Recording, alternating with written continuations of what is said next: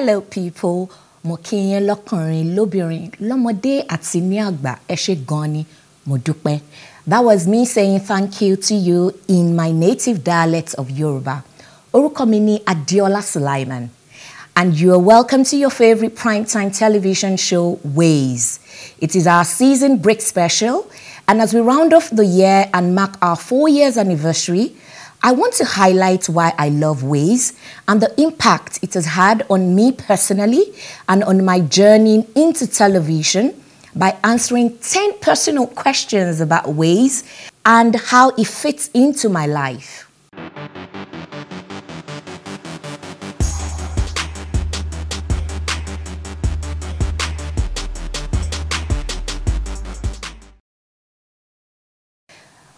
For me, I think the Ways show brings to the fore topical and societal issues, provides information, and sparks dialogues that seeks to educate and empower people to make informed decisions and stay current on issues around the country and the world at large.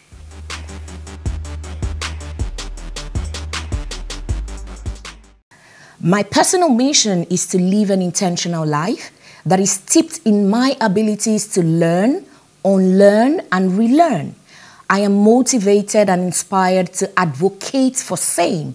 And one of the platforms that allows me to do this is via the Ways Show. We're able to have intentional conversations that are designed to spark action in people and help them make informed decisions that are fact based and also to promote our individual and collective lives.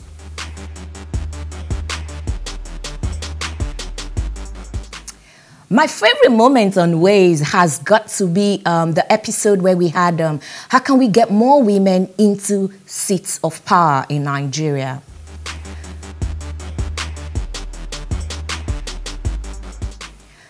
Now, um, if I have to talk about what my daily job looks like and what I love about it, I work as the program's lead at ProShare Foundation. Now, ProShare Foundation operates within the financial literacy and innovation space, and I am excited about the work we do, which is advocating and promoting financial literacy around the country using innovative ways to tell the financial literacy story. I am very passionate about financial inclusion projects, and we are involved with our stakeholders in bringing about opportunities to initiate conversations around financial exclusion and how we can move as a country forward. Every day, I see the impact we create, and I am proud to say that in helping people become more financially literate, we are aligned with the federal government and the UN Sustainable Development Goals to eradicate poverty, achieve zero hunger, promote gender equality, and so much more. I consider this a unique and privileged opportunity.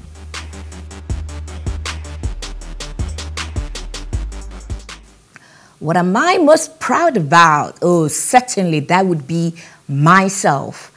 I mean, I think about the journey, my journey, and it is hard for me not to applaud myself if I look back to how far I have come. I am very proud of the fact that I seek daily to walk the path of transformation, giving myself the liberty to make mistakes and learn from it. But also, I take each moment to celebrate the wins and staying the course even when I have doubts creeping in. That's, that's not easy, but I mean.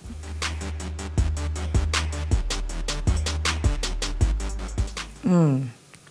I'm very afraid of losing faith, not making heaven, as cliche as that sounds, not having enough time to spend with the people I love, and also not extending enough grace to those I meet in proportion to how much grace I have enjoyed from the Almighty and the people around me.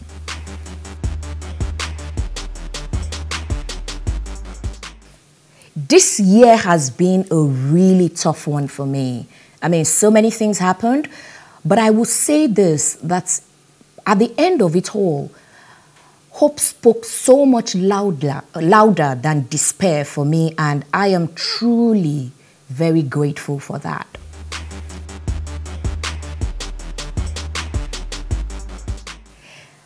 if I were to be elected as a president for one day, my priority would be I mean, Nigeria is, is a very complex um, nation, and um, it's very hard to just say that I would do one thing. However, I think that um, I will seek to address the financial trajectory of this country. At the heart of um, financial wellness are the principles of make, manage, multiply, and protect. And I think it's the same thing at national level. How do we make money as a nation? What do we need to do to ensure consistent inflow of money? Now, I think we would need to focus on building local capacities and industries to the point where we're a production nation as against just a consuming one. Second thing is how do we manage money? First, the cost of governance must be drastically reduced. Government expenditure must be evaluated to reflect economic situation, focus and promote maintenance strategies instead of wastage. How do we multiply money? It would be my job to foster economic growth by incentivizing entrepreneurship and ensuring an enabling environment for startups and small businesses. Facilitating access to capital for businesses to expand, innovate, and create more opportunities will be a definite way to increase local economies. I will also definitely promote financial literacy and investment education to empower individuals to make informed financial decisions, implement tax policies that incentivize long-term investments and wealth building activities which fosters a culture of responsible and sustainable financial growth. The last will be how do we protect our assets as a nation? I will diversify the economy to reduce dependency on a single sector providing stability and protection against economic vulnerabilities. Mm.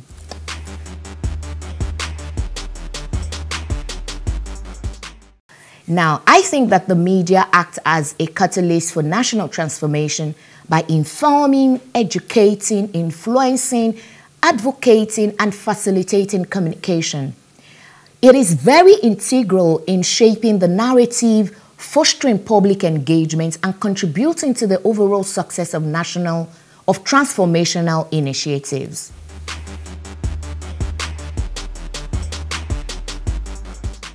I love to read, I like to travel, I like listening to music, and definitely being around loved ones.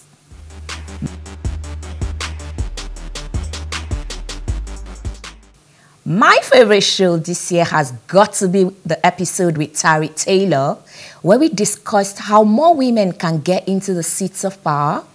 We explored some of the prevailing issues women often faced going into the political space and vying for a position, the impact of culture, the inequality that arises from gender bias, and other mitigating factors.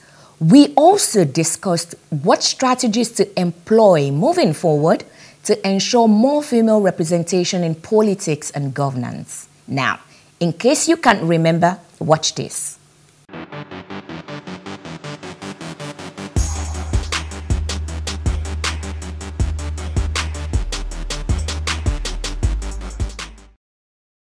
Thanks for staying with us now. According to a news source, despite clamors for improvement in women participation in public life across the world, Nigeria appears to be moving in the wrong direction. Now, from 1999 till date, only 157 women have been elected into the 469 member National Assembly, 38 senators, and 119 members of the House of Representatives, um, compared to 2,657 men with about six, um, 616 senators and 2,041 reps during the same period. Now, the results of the 25th uh, February presidential and National Assembly elections have further exposed Nigeria's failure to implement several treaties and status it signed, which are aimed to ensuring women's involvement in politics. Now, of course, the 92 women who contested for the Senate in the February elections, only three women won, while out of the 286 who contested for the seats of the House of Representatives, only 15 have been declared winners. It is our responsibility as citizens to learn from our mistakes and make decisions that will be for the benefits of the larger good. And today we're asking, how can we get more women into seats of power? Now, please let's hear what you have to say. Remember, you can join the conversation. Send us an SMS or WhatsApp to 081 803 You can also tweet at us at Way Show Africa One with the hashtag Way Show. In one or two minutes, quickly, how do you think we can help women get into power more? Um, advocacy. We need to, I mean, get more women involved in politics and a lot of times that involves financing you know we need to understand that there are roles to this thing you know so if you discover what your strength is you must be able to say that i'm I'm giving this to you, you know, I'm lending you my strength. I can campaign with you, but I can donate resources. This one can't do this. I can, you know, come with my intellectual capacity, you know. So again, and then we need to be forgiving to mm. other women. Ah. ah. Okay. I think, I think that's, that's, just what I was even going to say, actually. Mm.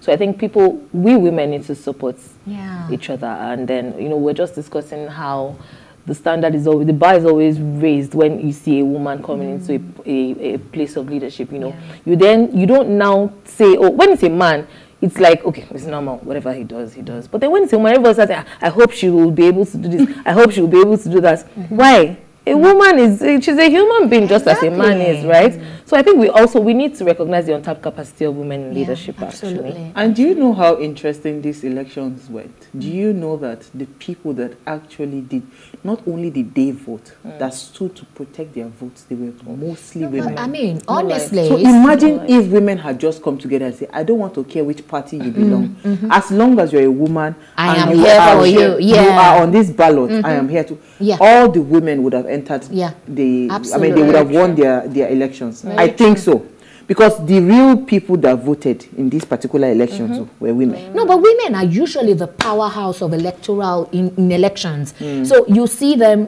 That's why Iyaloja Market mm. Women Association they hold such strong political force mm. because you can't go and meet a man or I mean in, in, that large number and say come out and vote. No, mm. it is the women that will mobilize other women and say, listen, this, this is, where we the yes, direction. Yes, so we just need to channel okay, so let me bring in our guest. Terry Taylor is a media professional and a TV producer with vast experience serving clients in both the public and private sector. She is the vice chairman environment of Lekki Zone and is the environment secretary of Lekki Estate Residents Association. Terry Taylor is um, the duly nominated candidate of the Youth Party to represent Etiosa 1 at the State House of Assembly in the just concluded 2023 elections that happened on Saturday. She's also campaigning, on a, or she campaigned rather, on a clear strategy to transform the environment and create jobs for many, many unemployed youths in the um, constituency. all these political terminologies. but she's joined us live in studio. Thank you so much, Terry Taylor. First of all, let me ask you for the just concluded elections, how was Saturday for you? Saturday was quite an interesting day for me. Um, I was ready, you know, for to participate in the elections. My team and I, had my agents in all the polling units across, and we were basically good to go. But then we were watching out, you know, for when the materials come out and you know um, and then at that point we realized that my party had been excluded from the ballot for House of Assembly in Etiosa one yes. So that was my experience but still I mean it was a very busy day because like I said we already had all of our logistics in place so we had to still manage people manage all of our agents all around take care of welfare just still keep things going. So that kept me busy all of Saturday. I still went to vote. How did that um, keep how did that? So um, how did that? It had out? been an ongoing um, legal issue. issue. with INEC, but on the second of December, 2022, mm. we had a judgment from the Supreme Court wow. in our favor as mm. a party, saying INEC should allow us participate as we are a duly registered, you know, political party. Meanwhile, this is not my first time contesting. Mm -hmm. In 2021, at the local government elections, I was on the ballot on Youth Party. Mm -hmm. I ran for councillor of my ward. So I've been on the ballot before on this same platform, okay? And um, so when this happened, you know, we got the judgment on the 2nd of December, so it was like, okay, you know what, you don't really expect INEC to just completely ignore and disobey Supreme Court judgments. But turns out that's exactly what they did. And um, so, are you planning to pursue, take any legal action, or what's the plan? Uh, going forward, you yes. mean? I mean, so, I mean, since I've been running this campaign since May last year, I declared in May, we did the primaries, we did the screening, so it's been a long stretch. I think I have done all that I know to do as a candidate.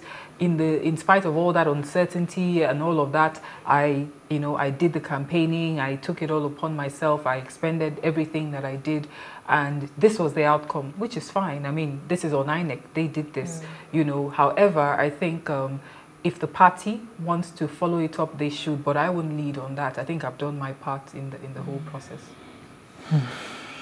Why do I feel so disappointed that you are not pursuing it? Yeah. Well, I, I, mean, I hope it's pursued because, yes, why should they ignore a Supreme Court yes. judgment? But I won't lead on it. Mm. You know, I'm a candidate. I have run a, a strong campaign. Mm. I've done everything. I've done my groundwork. I've, you know, connected with my electoral base. I, I had people come out. So I had to spend all of Saturday doing damage control. Mm. Everybody who was supporting me, I had to send messages to them saying, this is what has happened, but please, you still need to go out and vote. And I made sure that I went out you to know, vote. To vote. So imagine I took that House of Assembly, you know, uh, paper. And I saw myself excluded, but I voted because I wanted to let other people know that look, it's, let's move yeah, on. This Regardless. has to happen, you know. So that was um, that was it, and yeah. So just let's still just stay small on that um, subject of the Saturday election. Yeah. I saw you put up a, a post on the um, what's it called, the tribal or religious yes, yes. Um, bigotry bigotry that went on on Saturday. You know, do you want to just you know probably say more about yes. that? I mean, when I found out that I had been excluded, it was terrible. It was I was disappointed and all of that. But like I said, I was busy, so it was easy to manage that and just carry on doing. But what really broke my heart was this tribal bigotry. Mm. You know, to just see that in, I mean, I have never experienced that before. You know what I mean? Like I've heard about tribal it, profiling. Know yes. You know that it exists, but I, for the first time, I actually saw the face of it. I, mm. I you know what? And I'm like, this is ugly. Yeah. I, I, this is terrible. I don't ever want. This is not the Nigeria that I know or that I want to be. You know, I want for us, for all of us. So I felt the need to, you know, reach out because I, I just imagine that if I was on the receiving end of all that hate, you know, you've lived somewhere all of your life, you have a sense of kinship with everybody there. We, I mean, we don't see, I don't, I don't see tribe. I've grew, and I've lived in Lagos all my life, really. I, I don't see people on the basis of where they're from. Or I just see everybody. We're all Nigerians. But to see that division and to see people who you know, who you respect, who you, who are everyday people like you, you know, propagate that that hate. To me, it was shocking, and I thought, you know what, no, we need to reach out to the people you know, who have been directly affected by this. We need to, you know, sort of all just find a way to sort of heal from this because it really is bad. And the thing about it that even scared me the most was we all people talk about you know uh, separating leaving nigeria. They talk about biafra. They talk about all of that. And i'm always i've always been a very strong advocate for one nigeria. I believe that you know one nigeria is a non-negotiable. We should always find a way to hold together. But for the first time i sort of understood where the argument was coming from. from. Yes, I totally understood it because I'm like, you know what? If I was on the receiving end of that, I would say, there's no point. Your, yes, like, keep your, keep your, yes, and let me go back. Yeah, go. But I, I, don't want us to all get there. We can't mm. afford to get there because we are better off together. together. Yeah. So the healing needs to start. It mm. needs to be you know, it needs to be urgent, it needs to be strategic. We and it's all hands on deck. Mm. Like we all have a responsibility to reach out. And I and I think the, the, the, the person I would pin this on is the CNC. What do they call what do they call the person? You know, you're you're the CNC in, in charge of the state. You know, a lot happened. Again, these people thought they were fighting your battle. Mm -hmm. So that's why they were calling out, you know, and you know, calling a particular tribe. So if you truly want to heal from this, if you want, because again, you cannot ignore what this particular tribe have brought to your IGR. Exactly. Yes you can't ignore it. Yeah. I'm sorry, you cannot. They actually are they, they, any anywhere they go to they drive the economy. Mm-hmm. they are that industrious. So you can't just wake up mm-hmm. and because of politics ignore the kind of financial return that these people bring for you as a people. Mm. so but i mean we will take a very short break then we'll now focus on women's seats because we have short our time. Stay with us. We'll just go out and we'll be right back. Stay with us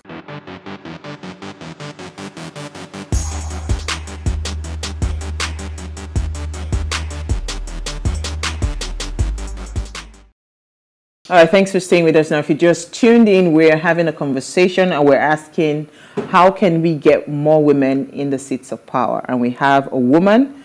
She's been in political scene for a while and she's been contesting. You know, um, she she's here with us, you know, to, to discuss more about this, right? And um, please, let's hear what you have to say. Remember, you can join the conversation. Send us an SMS or WhatsApp to 081 803 4663. You can also tweet at us at Ways Show Africa one with the hashtag Ways Show. All right, so um, Terry, let's let's now move to the conversation around women.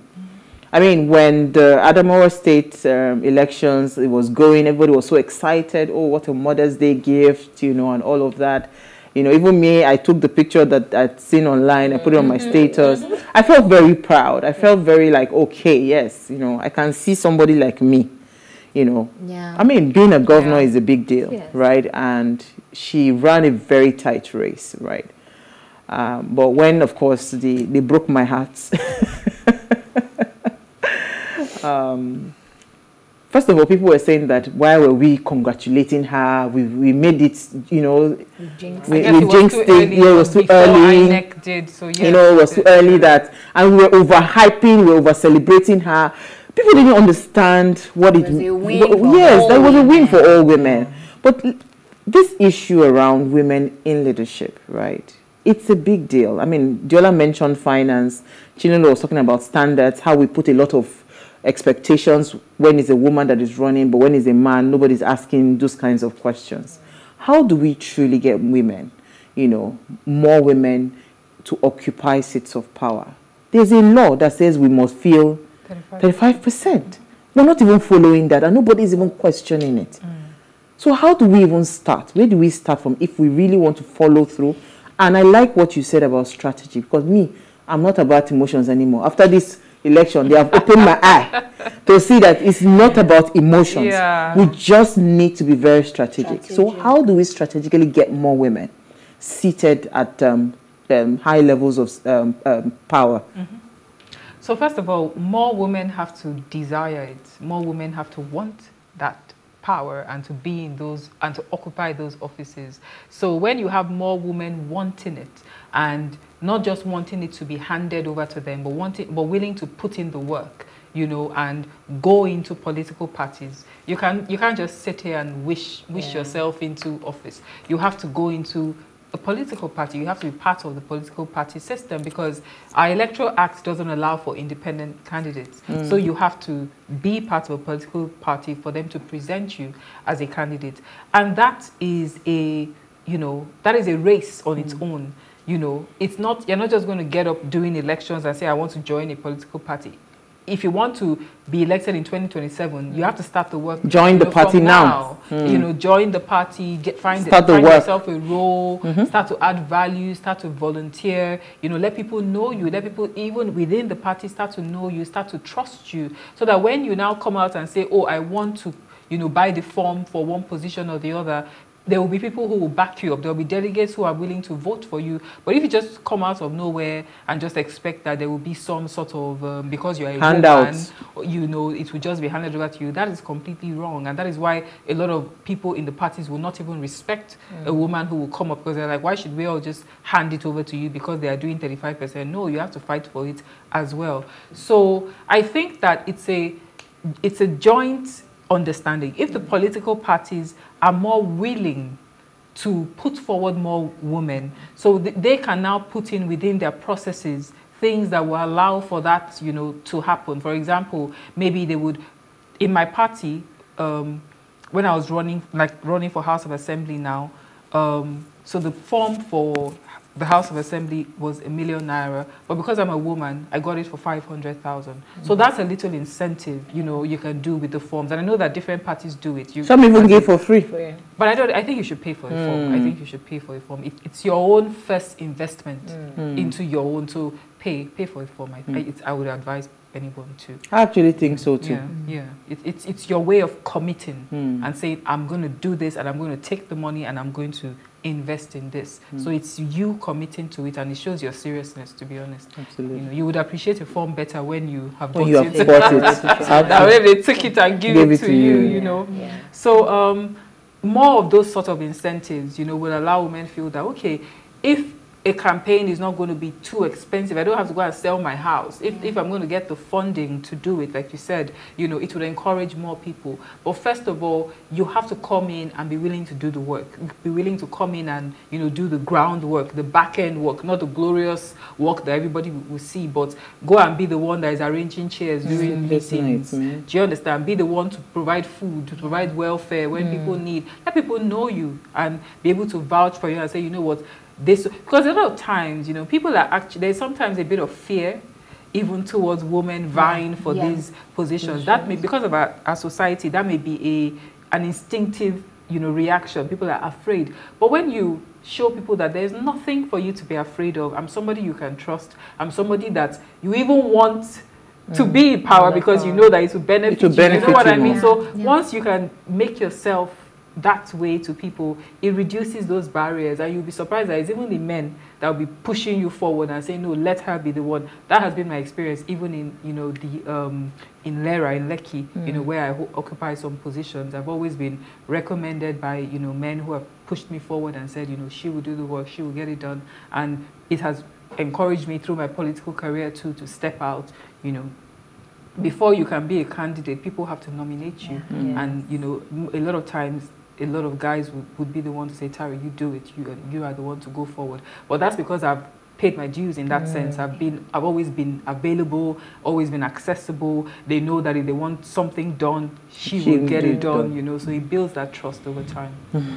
Okay, so I, I wanted to add something to where you say, I often find that um, women think that being soft and, you know, all that vulnerability is a weakness for them. So a lot of times we tend to think, no, I have to come across like, you know, very tough, very aggressive. aggressive. And I don't think that's the way to go. I honestly think that we can weaponize that softness. It can become a strategy because people naturally gravitate towards empathy. And we have that in abundance. I mean, well, most women, you know. And we can use that. We are the ones that can easily relate to the grassroots women. You understand what it means for her to go through all the trouble to feed her kids. You understand what it means for her to put two naira, three naira together to say, okay, I want to feed my family. And we, I honestly, like, because a lot of women I speak to, they go like, oh, I need to, ah, you know, once I'm in that position, I need to be very tough so that all these people won't be looking at me like I'm too soft or somebody wants to take advantage. No, just be your natural self and just let it play out. People that would, everybody would, and I, again, I think for women, we want everybody to like us. Everybody will not like us. Everybody will not accept us. you know, I totally agree with you. I do um, it, it, it's even false when you try to be something you're not. Yeah. You know, there are some women who, by their personality type, are aggressive and mm-hmm. come across strongly. That's fine yeah. if that's your personality. But there are other people who are maybe a bit reserved, a bit soft-spoken, and people would, would, would imagine that that would that would mean you won't get the respect yeah. of people out there. But I think it's um, even this um, Madame Binani in mm-hmm. Adamawa. When I first of all heard or saw her that she was running, I now said, let me go and look for a video of her because I wanted to like experience yeah. what she was like. And I was so shocked at how soft spoken and like very gentle, you know, mannered she is. And I was like, okay, that's interesting. She's not the stereotype, you know, yeah. that you described, as brash, aggressive and all that. And it was welcoming and refreshing to me to see that because I was like, she don't, I, I'm, I'm glad, I'm happy that she's just an easygoing woman like every she, well she appears to be an easygoing woman like every other person you know. And i think for me that's a winner. Just be yourself. Be your authentic self. Hmm. The people that will gravitate to you if you're aggressive will gravitate to Yeah. you the people that will gra- gravitate to you if you're gentle will Yeah. gravitate to you. So just be yourself. Mm-hmm. Okay, yeah. So I like what you said about putting in the work, right? But then it's been said because I remember there's there's a particular there, was a particular candidate with the party who was a woman. Then she was also young, so it wasn't even just because she was a woman. Now it was also because she was young. She didn't get the presidential ticket she was trying to get at the time. okay So what what what, what would you have to say about that? um well i don't know the exact you know um No, I'm talking generally you're, now. so I mean, to. But I would say, you know, I'm not of the school of thought. Uh, you were saying it earlier. I slightly have a different way of looking at it. I'm not of the school of thought of saying I would just support someone because she's a woman. No, I'm sorry. It's not that easy. No, you have to earn my respect. You have to earn my vote. You have to earn my my you know like every other person. I don't I don't see things like that. I won't yes, I may be a little bit more biased in terms of giving you more of my attention or being more sympathetic in the way I view your, but I will not automatically just vote for someone because she's a woman. I'm sorry. You have to tick the boxes. There has to be competence. I have to see your character and feel like you're somebody I can trust with leadership. Mm. You know, I'm not just going to do that. So, and I don't really, I, I know, I understand the urgent need for more women to be in politics and in government, but it should be the mm. right woman. I want to ask It should be the right woman. These same standards that you have just said now, do you put it for men? Which same standards? Because you see, people, I've heard oh, yes, arguments. competence and all of that. I've had I've heard this argument about competence, character, and all of that. I do. the crop I of leaders do. that we have today, can you categorically say that there is competence, there is character? Some, some. It's not an abundance of them. It's not. But there is It's very minimal. But you see, the, the, You the know, so bar has the point, raised. so the where I'm driving with the conversation is the point I'm trying to make is that in terms of all that criteria of competence and character and all of that, if you put all the crops of everybody together, so let the, let them all be incompetent together, as far as I'm concerned. Because again, we know it's true because we've tried out men for so long. Mm. Imagine if we had women in the seats of power, right? Like decision policy makers, we especially. some women in no, I'm talking about offices. no, I'm talking about a good number for policy makers, especially not really um, the executives. So like a critical mass. Yes, the critical mass of women, especially where some policies are being crafted. There is a way a woman will craft. There's a way you would craft a policy that will be completely different from how a man will craft that policy Yeah. right? So, but let me just step aside because that competence matter. After I said after this election, I, I don't want to know No, but come what on. you are The because fact that the fact that we are disappointed by is like uh, those um, jokes, those memes you always see on, on Instagram. What I ordered versus what, Mm. What I I got. you know? so let us just let us just be ordering the wrong thing. It's No, true. The fact that we are disappointed doesn't mean you should give up. I would Because not. How do we ever? How would we ever get what we want Yeah. if we don't persist? So so know? so let me just quickly divert a bit. I want to digress a bit. I want to focus on you a little bit. Now, you ran under a party. Now, look at Binani. She ran under a very strong political party. Mm-hmm. the ruling party. is a ruling party. Now, I want to understand the role of the party Mm-hmm. for women because, again, I see I see that a lot of the um, smaller parties are very quick to give tickets and all of that. Mm-hmm. You know, for to women, you know, and all of that. They are very quick to do all of those things. But when it comes to the the bigger parties, like the the, the big political parties, the big political players, Yeah. it's very difficult. So for her to have gotten mm-hmm. that ticket, you would know that the kind of work she must have Yes, put of in, course. you know, she would have matched maybe 10 men. Mm-hmm. Yeah. You know, because she would have done 10 times what Yeah. the Yeah. men would have done for her to Yeah. have gotten that mm-hmm. seat. yeah. So the question I'm trying to ask is, is it wisdom anymore for women that are trying to put themselves, we want to, if we want to, I mean, start to increase our seats of power, is it wisdom for us to continue to run under smaller parties or we should start considering, you know, the bigger players? Well, that's a question for every politician, Hmm. you know. Uh, but speaking specifically to women, um, you know, as a politician generally, I don't even like to just like gender, gender, genderize it, or how do I call Yeah. it? You want to be standing on a firm foundation. Look at what happened to me. You know, yes, I've run on this party before and I have been on the ballot, but you know, the way the, it went because of the, I, I mean, INEC just decided to do what they did. But it will be, there have been candidates from even the more established parties who have been excluded. Mm. You know, we all know the presidential elections is not every party that was on the ballot for that, you know. So sometimes because of legal issues or whatever, it, it could happen. But I think that going forward, it is very important. But it's a two-way, it's a two-way thing. Yes, I agree with you, and I think that we should be in those more established parties because it provides a stronger platform to run on. They have more structure, this word. They have more, well, it's, but it's a reality. There is more structure, there is more of course, with INEC, it's mm. harder for INEC to mess with yeah. their, you know, them and all of that like that. But there's also the idea of the culture that has formed within that party.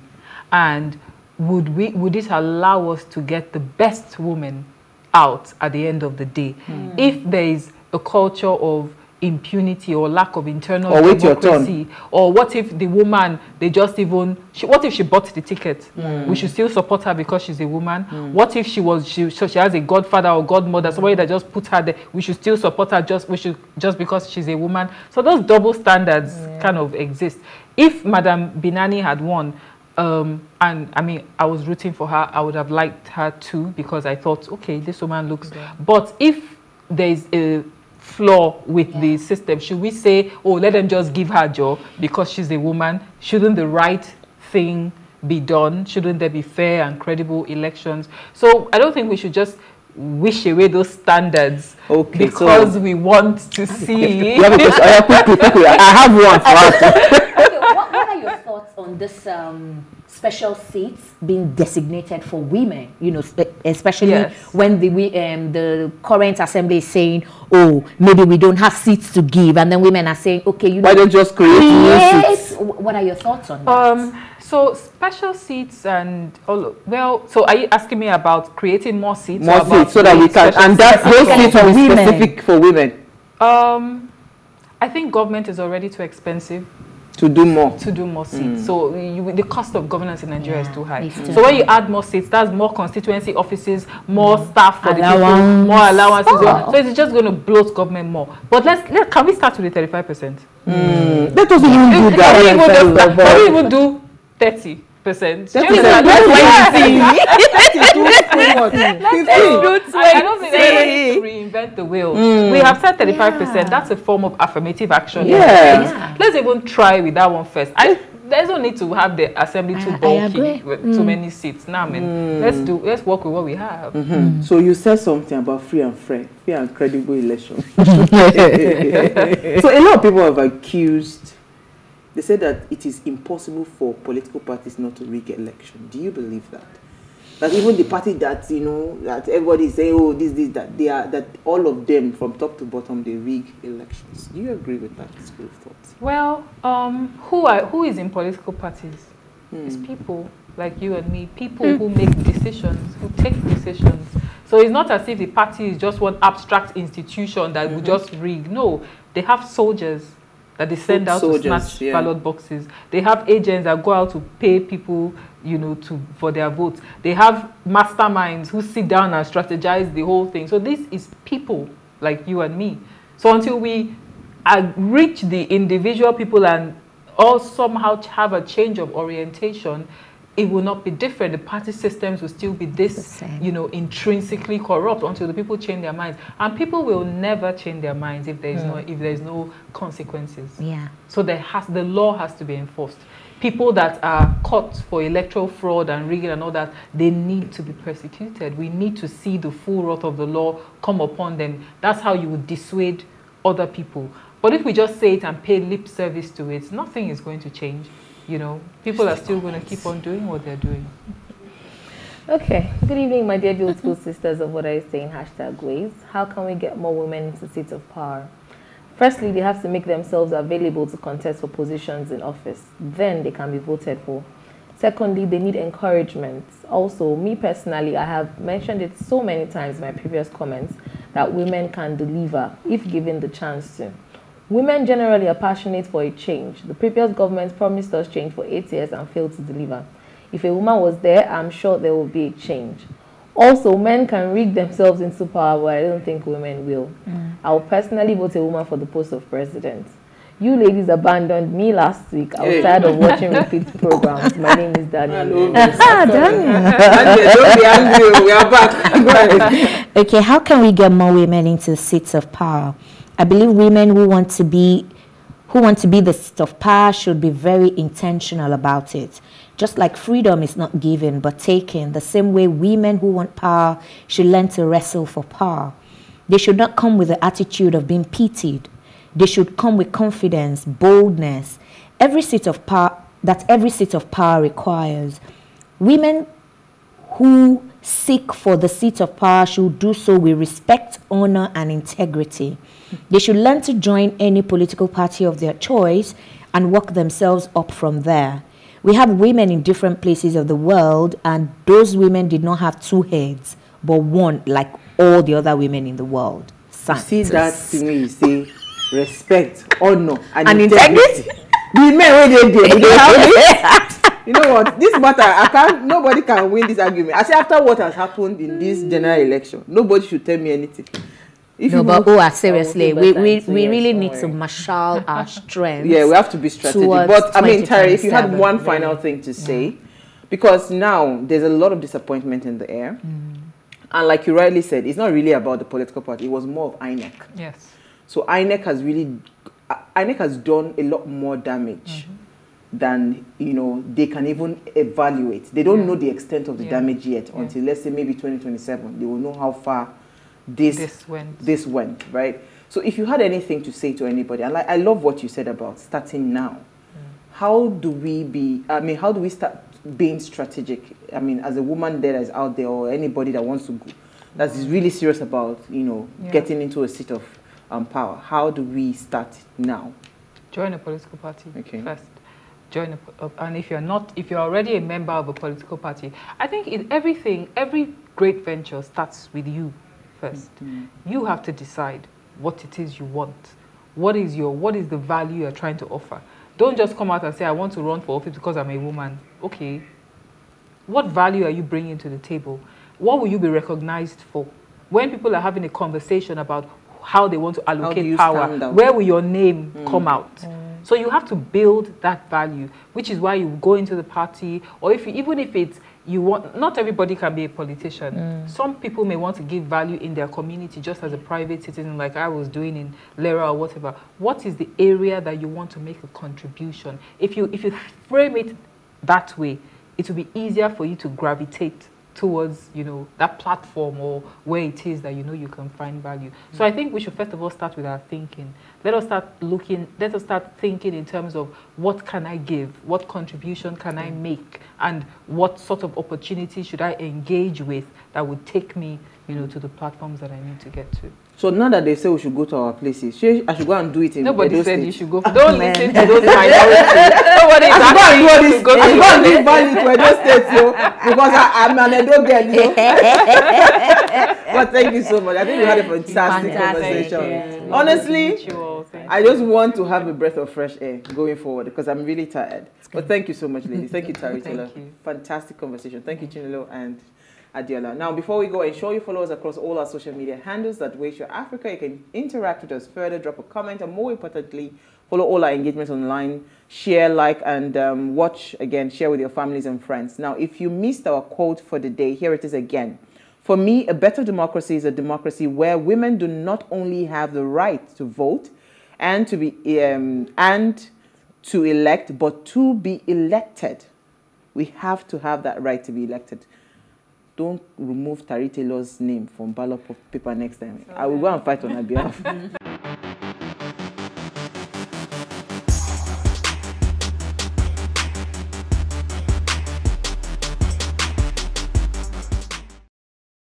Thank you so much for staying with us. I hope you enjoyed watching and getting up close and personal with me as much as I have enjoyed sharing with you. Media is a powerful tool with the ability to shift the minds of the youth in a progressive trajectory, and I will continue to do my part through Ways. Thank you for watching and supporting the Ways brand. And as we wind down for the year, Please let's remember that all we need is love. Love for self, love for family, love for neighbor, for country, and for humanity. Ẹ ṣé gan ni àdúró tì wá láti January títí di ìsinsìnyí. See you tomorrow at 8 p.m. and have a very happy holidays. Bye.